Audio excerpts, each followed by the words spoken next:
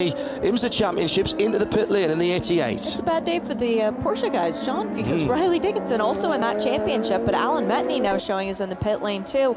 That's not a good, uh, not a good day. As Gerhard Watzinger's helmet looks strikingly like Lewis Hamilton's, but we'll leave that. It is a wonderful championship that you guys have organized. The calendar. Don't you mean Lewis Hamilton's looks striking like Gerhard Watzinger? Because thank I think Gerhard's been racing a, a while longer than than yes, Lewis. Yes, thank you for for pointing that out. But starting the year off at Virginia International Raceway, going to Barber Motorsport Park, Road America in June, Portland.